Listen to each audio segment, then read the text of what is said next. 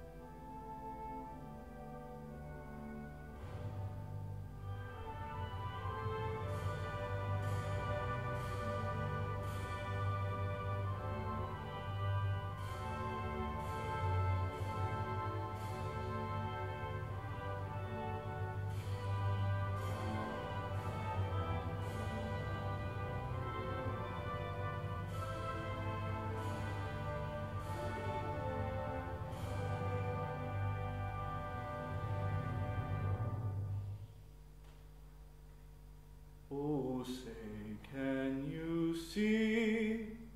By the dawn's early light what so proudly we hailed at the twilight's last gleaming, whose bright stripes and bright stars through the perilous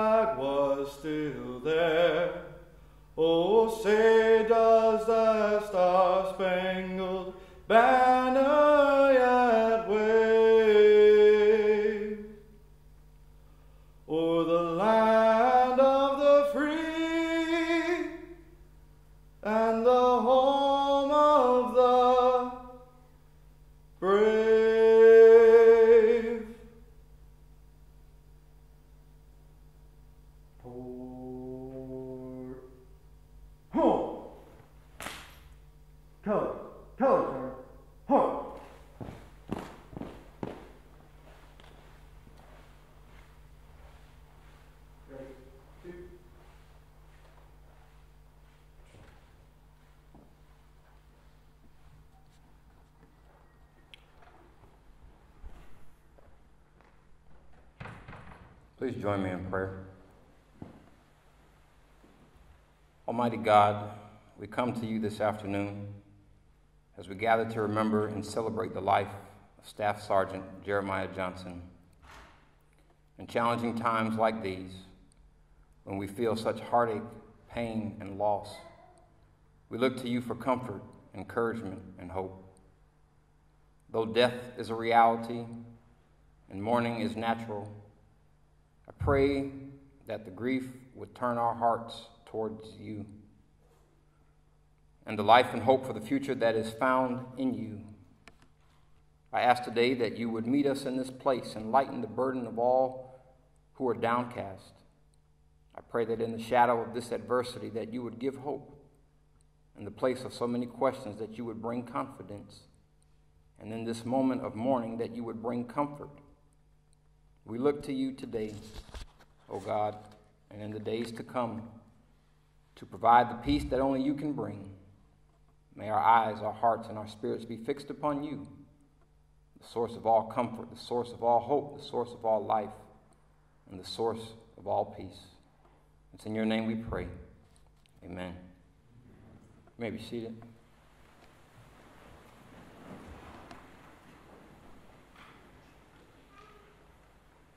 This time, Chaplain Lieutenant Colonel Kyle Hunley will now provide the Old Testament reading from Psalm 90, verses 1 through 12 and 14 followed by Staff Sergeant Rashonda Walker, who will provide the New Testament reading from 1 Corinthians chapter 15, verses 48 through 54.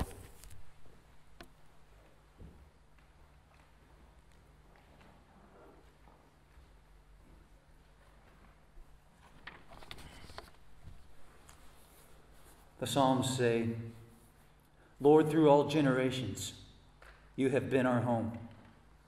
Before the mountains were born, before you gave birth to the earth and the world, from beginning to end, you are God. The Lord is my light and my salvation. Whom shall I fear? The Lord is the stronghold of my life. Of whom shall I be afraid? One thing I ask from the Lord. This only do I seek, that I may dwell in the house of the Lord all the days of my life. For in the day of trouble, he will keep me safe in his dwelling. He will hide me in the shelter of his sacred tent and set me upon a high rock. I will call on God, and the Lord will rescue me. Morning, noon, and night, I cry out in my distress, and the Lord hears my voice. I remain confident of this I will see the goodness of the Lord in the land of the living. Wait for the Lord. Be strong and take heart. And wait for the Lord.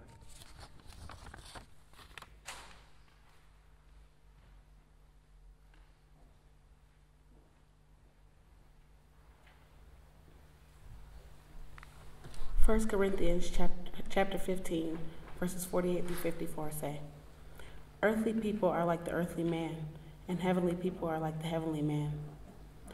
Just as we are now like the earthly man, we will someday be like the heavenly man. What I am saying, dear brothers and sisters, is that our physical bodies cannot inherit the kingdom of God. These dying bodies cannot inherit what will last forever. But let me reveal to you a wonderful secret. We will not all die, but we will all be transformed. It will happen in a moment, in the blink of an eye. For when the trumpet sounds, those who have died will be raised to live forever, and we who are living will also be transformed. For our dying bodies must be transformed into bodies that will never die. Our mortal bodies must be transformed into immortal bodies. Then, when our dying bodies have been transformed into bodies that will never die, the scripture will be fulfilled death is swallowed up in victory.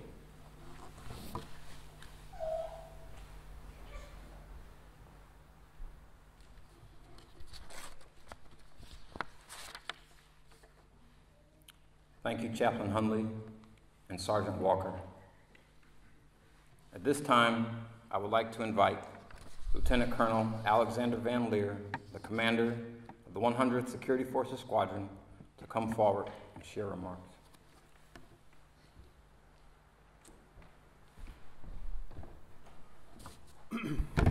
Good afternoon.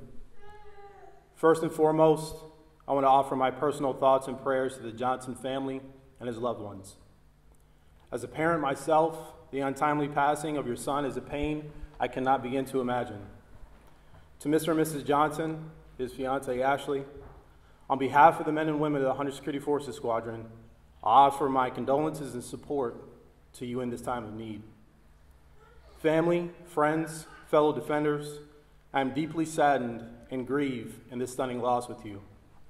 No doubt the past few weeks have been tremendously difficult for all of us here today. It's difficult to find the words to say that will ease the heartache in a time like this. So today, I'd like to focus on the things about Staff Sergeant Johnson that make this so difficult. Staff Sergeant Johnson was an exceptional NCO, thorough and detail oriented. He loved his airmen, his flight, and being a defender. Never without a smile, his impact to all those he came in contact with, in or out of uniform, will be everlasting.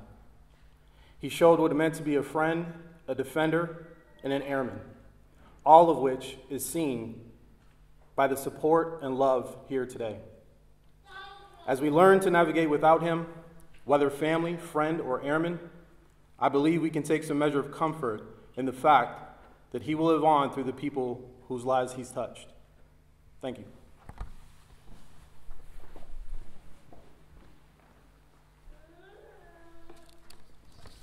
Thank you, Colonel Van Leer, for your remarks.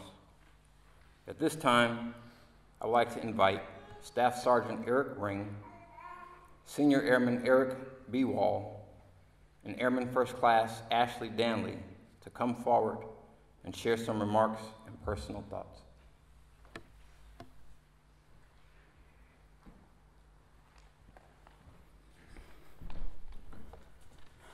Good afternoon. I met Jeremiah when he returned from his Zagadas deployment in November of 2016. We quickly became close friends through our shared experiences growing up in the South, and of course, anything dealing with Star Wars. When it came to this, I and many others considered him to be a subject matter expert. Jeremiah was one of those people you could count on for just about anything. From early morning rides to Heathrow, to getting you out of a tight spot and you were caught off guard. In early 2017, I went through a difficult period in my life. I convinced myself I could handle things on my own, and I didn't need to talk to anyone. Jeremiah, along with our close friend Sam, sat me down and forced me to talk it through. Jeremiah always made it a point that when I was feeling alone or down, that I wasn't alone, that it was okay to ask for help. It, it wasn't just those that were close to him that he did this for. This was his personality. He was always open minded, accepting, fair, and impartial. He was the type of person that will tell you what you needed to hear, whether or not you like the answer. In addition to his brutal honesty, he did enjoy being a kid from time to time. We had attended several Comic Cons together, during which we would both dress in part. This was an obsession for him. Watching him move from vendor to vendor was like watching a kid in a candy store who couldn't decide what he wanted. There were a few times we would have to take an Uber or taxi back to our hotel just to drop off all the stuff that he bought. Along with enjoying the things he loved, he enjoyed being an uncle and a dad the most. The interactions between his, fiance, his fiance's daughter, Delilah, and my oldest daughter, Savannah, filled his heart the most. We would often, he would often catch Savannah, as well as myself, off guard with a well placed dad joke, then turn to me and say, I'm practicing. As much as he enjoyed spoiling himself, he enjoyed making others happy even more. He would go out of his way to do something nice for you, even if it was something small like surprising you with a coffee. He loved many things, but if he had a drink of choice, it would always be coffee. We spent many, many hours talking over many, many more cups. Whether it was a quick Starbucks on our way to London or a campfire brew in the Highlands of Scotland, there wasn't a drink he preferred more. Preferred more. The last cup we had together was standing in my kitchen, talking about the planning, talking about and planning road trips when we got once we got back to the states. Those memories and countless others are how I want to remember him. These memories are how we should all remember him. In his passing, he has become more powerful than we could have possibly imagined, one with the Force. Rest easy, my friend. You have the high ground.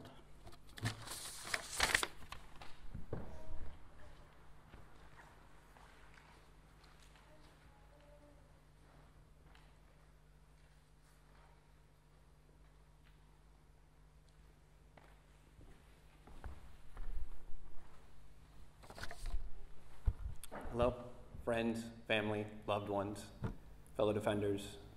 Today, we're all here to remember a fallen defender of ours, Staff Sergeant Jeremiah Johnson. Sergeant Johnson was He was a friend of mine, my supervisor, my mentor, and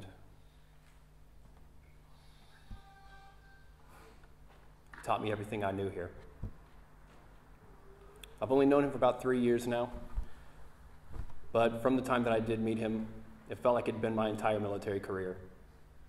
Without him, I don't think I could have been where I am today. From the time that I've known him, I've only learned a couple of things about him, but the first thing I learned was he was driven, motivated. He strived to see something become better than it once was. An example of that would be Star Wars. One of the things that he and I would always delegate and talk about was how the latest Star Wars movies were just terrible. They could have been better. And there was always something we could nitpick about this or that. And at the end of the day, both of us, well, I settled that there was nothing we could do, that it just was the way it was, and that was something we had to accept. But he was different. He decided he wanted to do something about it, something that none of us probably would have thought of. Or maybe we would, and we just knew it was a bit too ambitious. He rewrote the next couple of stories, the last couple of movies in his own image, decided that he wanted to make them his way, the way he thought they should have been. This is just an example of one of the things about him that made him as great as he once was, as he still is. Another thing I learned about him was that he was always there for us. Through the good times and the bad, he was always there to try and motivate us, give us the information that we needed. Whenever we asked him anything, no matter how difficult it was to find, he would seek it out. He would get the facts. He would ensure that we would have the information that we needed to have. But brings me great joy that all of us could be here today to be here for him as he was for us. Thank you for your time.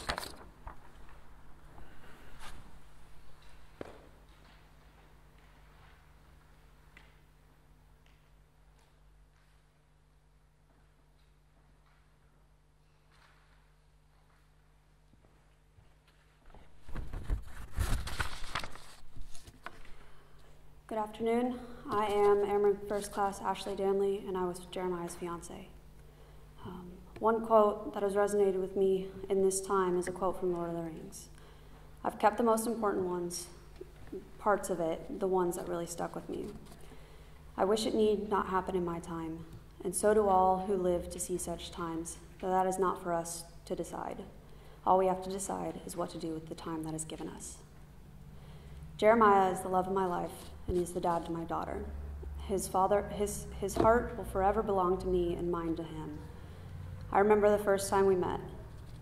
We connected immediately, and I was down for the count. Our first date led to spending every day we could get together, to living together, and when my daughter came back to live with me, we were, we were complete. One of the things he wanted most in life was to be a dad. I believe, he, I like to believe that he had everything he wanted, and I'm happy I can give him that. I will always cherish and hold our memories together dear to my heart. I also have a poem from Lord of the Rings. I sit beside the fire and think of all that we have seen, of meadow flowers and butterflies in summers that have been, of yellow leaves and gossamer in autumns that there were, with morning mist and silver sun and wind upon my hair. I sit beside the fire and think of how the world will be when winter comes without a spring that he shall ever see. For still there are so many things that he has never seen. In every wood, in every spring, there is a different green. I sit beside the fire and think of people long ago, and, pe- and people who will see a world that he shall never know. But all the while, I sit and think of times there were before. I listen for returning feet and voices at the door. We cannot shut our emotions, but we can reminisce about how he has affected the lives of other, others, as well as how he will continue to affect the world. There is no death, there is the force.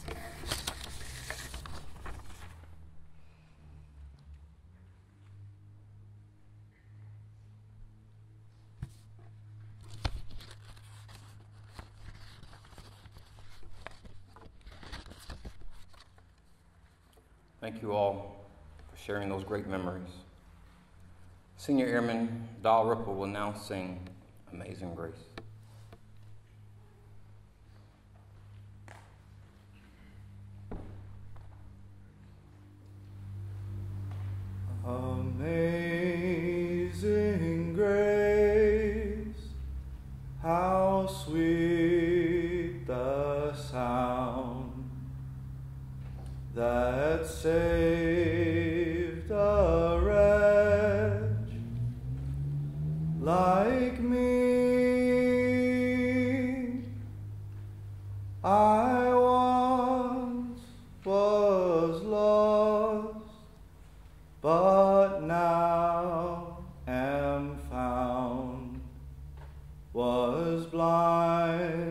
But now I see.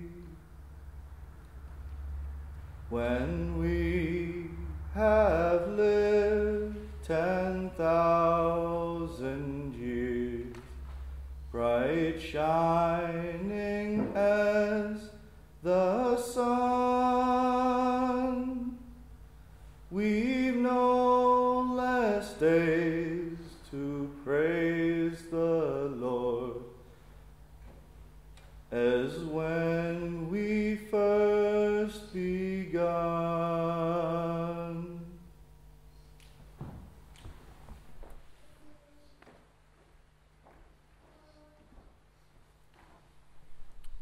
Senior Airman Dalrymple.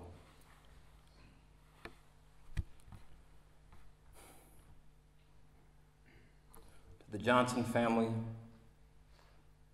Ashley, Delilah, friends, honored guests, and the men and women of the 100th Security Forces Squadron, and directly to the Alpha Avengers. Thank you for allowing me the opportunity to provide words of spiritual comfort and encouragement as we honor the life of Staff Sergeant Jeremiah Dakota Johnson. Before I go into my message, I have two realizations to share with you all today. The first is that this is the third time I have stood in front of a large crowd. And this is the first time I have stood in front of a large crowd in the sanctuary since March.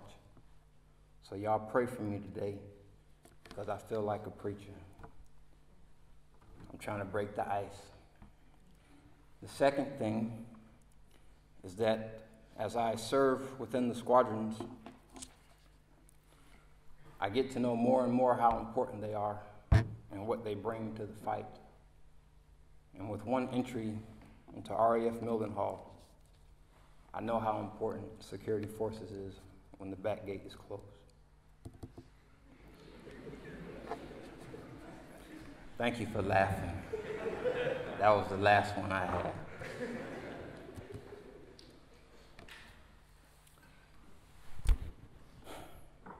Terms such as watchman, defender, and force have saturated the hearts, stained the windows, and painted the walls of this dwelling place we call sanctuary. It is in this place we feel safe, weep when we are burdened, and rejoice when we are glad.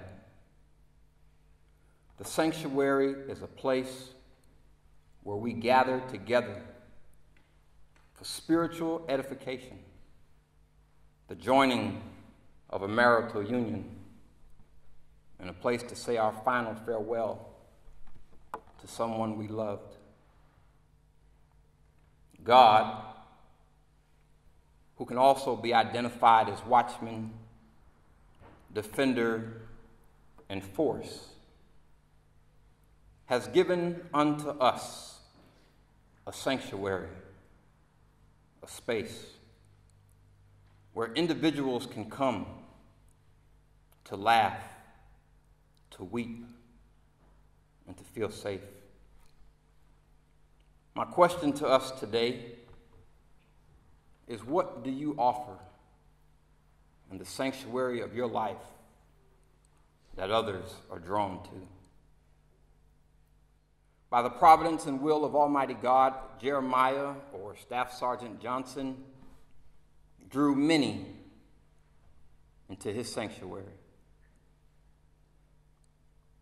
The day his flight was notified of his death, I saw a specific individual in a complete state of shock who thought he had a negative encounter in Jeremiah's sanctuary.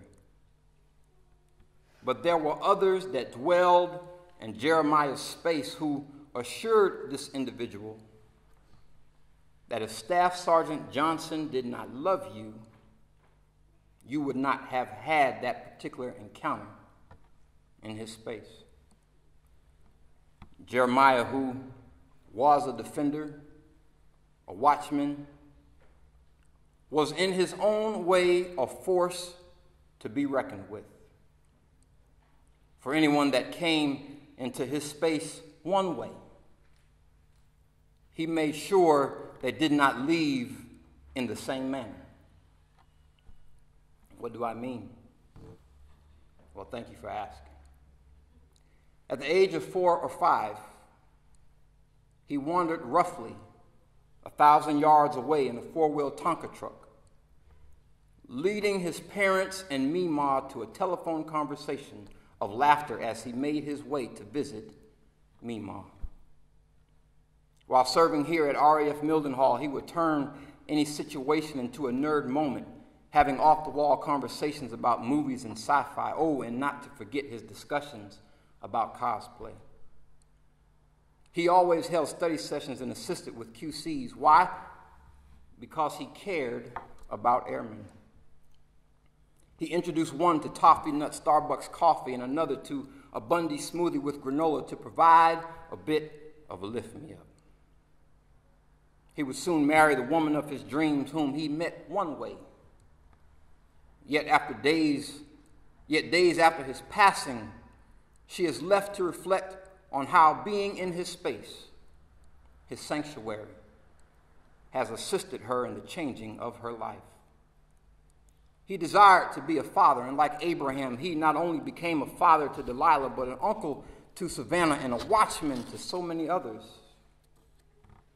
One does not have to live a long time to impress, impact, inspire, and influence those who enter our sanctuary. But what each of us must consider is simply this Will those that enter our sanctuary leave differently than the way they may have come?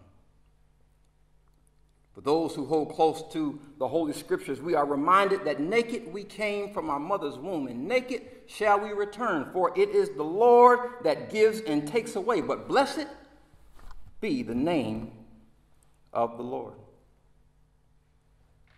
My friends, we have a responsibility not to leave this world full but empty. What God has given to each of us is not for ourselves, rather, it is meant for us to give to others as He so graciously has given Himself for us all. One day, there was a little boy who spent the day playing as a superhero in the backyard of his home. When it was evening, the father called him inside to settle from his watchful day. Surely, my little defender is hungry after looking after others all day. Come on in and have something to eat. The little boy sat down for dinner. He ate, then made his way to the television in the living room. An hour into his show, the little boy fell asleep.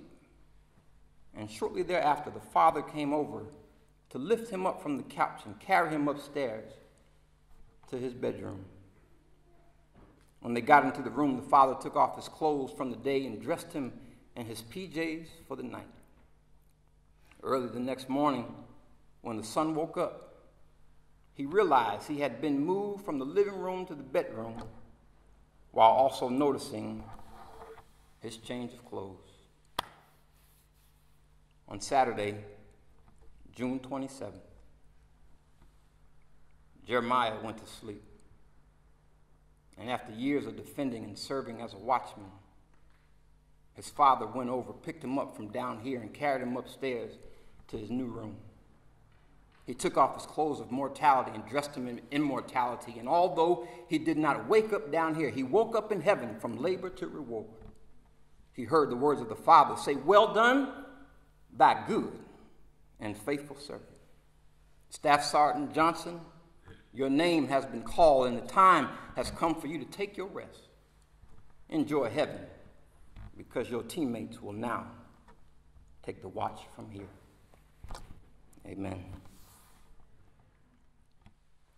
At this time, I would like to invite Master Sergeant Jonathan Butler to read the final roll call, followed by the playing of taps. As a reminder, our military members are required to stand at attention during the playing of taps.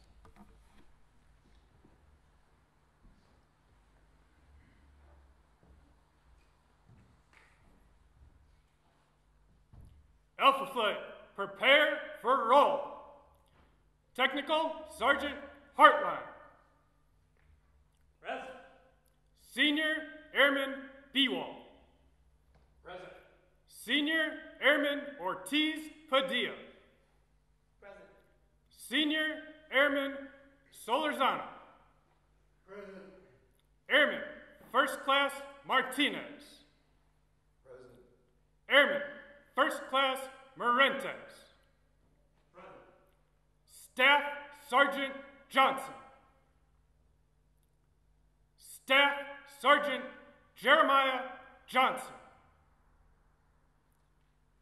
Staff Sergeant Jeremiah D.